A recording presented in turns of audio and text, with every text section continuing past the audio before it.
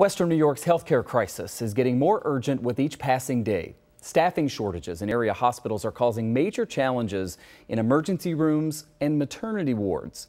At some local hospitals, the problems are now trickling down to the patients in a big way. It's day 20 of the CWA strike that is partly to blame, but as Channel 2's Jeff Preval explains, that's not the only factor at play.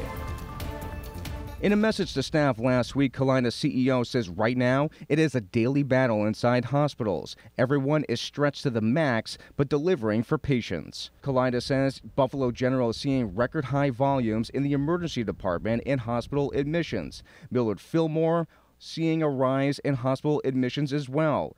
And Oishei Children's Hospital is seeing more people in their emergency department and an additional four to six deliveries in their maternity ward every day.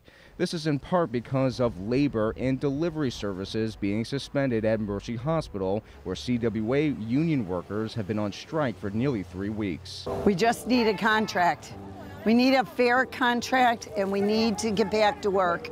We want to go back to work. CWA workers say what's good for them is good for other healthcare workers. The vast majority of them are standing right beside us. They've been here walking the lines with us. They've been in support of us. What happens here is only going to benefit them down the line as well. Today, there is no update on contract negotiations. Over at ECMC, hospital officials say emergency department volumes remain high and that four nurses from New York Presbyterian in New York City are here to help out in ECMC's emergency department and critical care units. Hospitals are not only continuing to deal with impacts from the pandemic, but also reductions in staff in some cases due to the state's COVID vaccine mandate. Now, on the COVID front, in terms of hospitalizations, according to state data, there are more than 200 people diagnosed with COVID 19 in Western New York hospitals. And that is twice as high as that number was at this time a year ago.